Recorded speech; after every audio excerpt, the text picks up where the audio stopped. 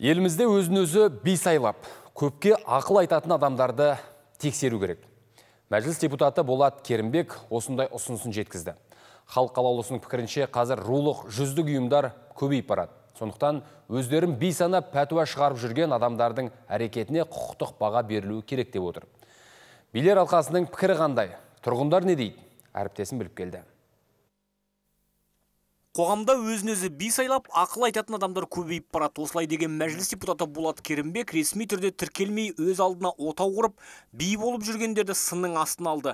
Айтуынша, мұндай адамдар бас биді сайлап, түрлі мәселелерге өздерінше шешім шығарады.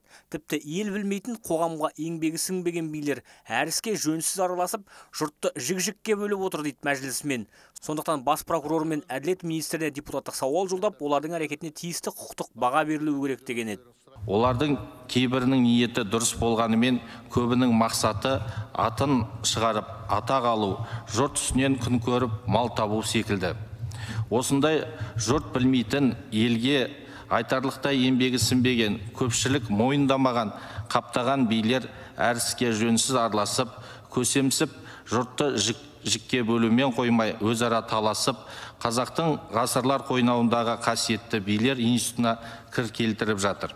Депутаттың пікірінше бұрындары билер институты болған бірақ бүгінгі күні сот шешім шығарады. Ал көпшілік ондай топтардың ақыл кеңесін тыңдар кезде алдымен адамның пиғылын түсініп алу керек дейді. Қоғам арасында іріткі салатын адамдар болса олардан сақтану керек деп отыр. Ал бұл тарапта тұрғындардың пікірі екіге жарылды. Кей жерде орын, орынды кей жерде орынсыз. Менің ойымша ол адамға байланысты. Егер ол адам оқымысты білімді бірнеше жыл өтілі бар еңбек өтілі сонда ғана егер оның несі көзқарасы әртүрлі болса и бір, бір жағдайда ақыл айтса ол дұрыс меніңше қазіргі кезде руға бөліну көбейіп барады. Қазақтар арасында осының соны жақсылыққа апармайды деп ойлаймын мен өзім. Сондай жағдайлардан сақ болуымыз керек негізі бейміз деп қоғам арасында іріткі салмаса болды әйтеуір.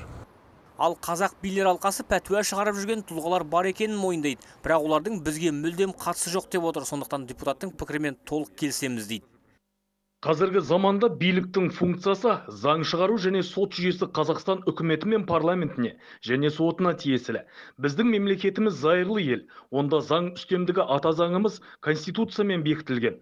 Сондықтан кейбір азаматтардың өзін өзі би деп жариялап құқықтық негізі жоқ шешімдер қабылдауы ұлтымыздың салты мен дәстүрлерін бұрмалауы мемлекетіміздің құқықтық жүйесіне және ұлттық құндылықтарымызға қайшы әрекет.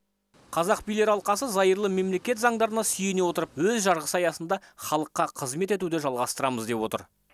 Руслан жасұланұлы азамат елубаев информбюро.